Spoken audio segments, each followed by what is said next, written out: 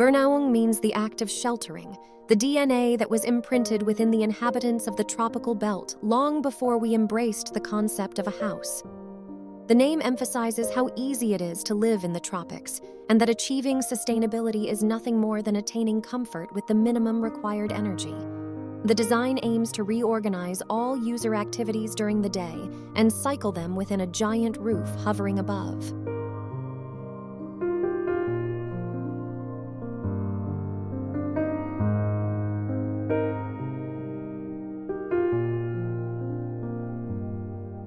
The atrium, as the centerpiece of the house, acts both as a visual guide and a wind chimney, ensuring a cross and stacked effect for natural ventilation.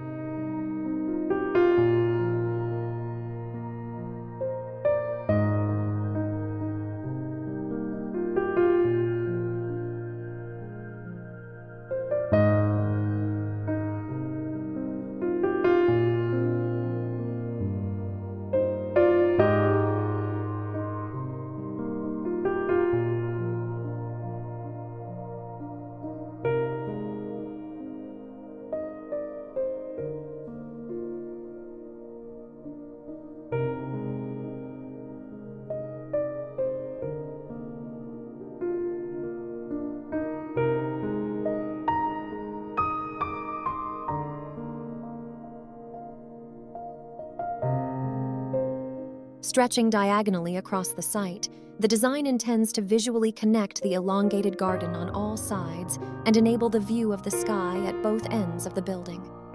The design seeks to frame the surrounding greenery from within and create the illusion of more spacious garden homes within the bustling urban context of Tangerang.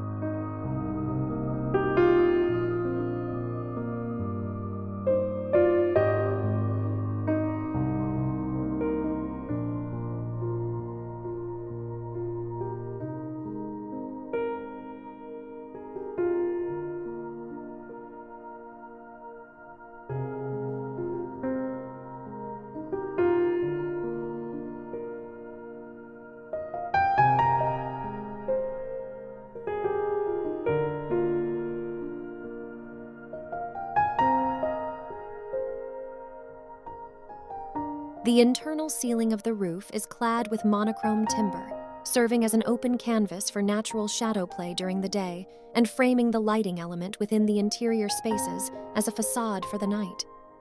The house design was rotated to achieve a total north south orientation to optimize natural light while minimizing the exposure to heat entering the building. The central point of the roof which was subtracted for skylights and ventilation to release hot air, was also twisted, redirecting direct heat from the northwest, penetrating vertically into the atrium. An experiment on a wide span structure for a single story house with a mezzanine was chosen to demonstrate the importance of creating a microclimate on a mere 400 square meter site packed in dense, repetitive developer houses. Filled with layers of diagonal walls and sandwiched within micro gardens, the design aims to optimize the rounded passive design, playing with different air openings and levels of air pressure and light play at different hours of the day, which are the strengths of living in the tropics to achieve comfort with minimal energy.